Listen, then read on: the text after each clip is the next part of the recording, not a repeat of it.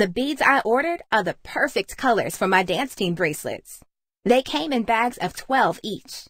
20 bags of bright purple beads and 3 bags of yellow beads. I want to add up the total number of beads to make sure I have enough.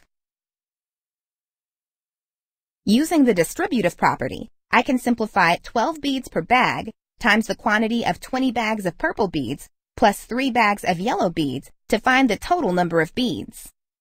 I can also write the problem as 12 times 20 bags plus 12 times 3 bags. Next, I multiply 12 times 20, which equals 240 purple beads. Then I can multiply 12 times 3, which would equal 36 yellow beads. The sum of 240 purple beads plus 36 yellow beads equals a total of 276 beads. Using the distributive property, I was able to add up the total number of beads to make sure I have enough.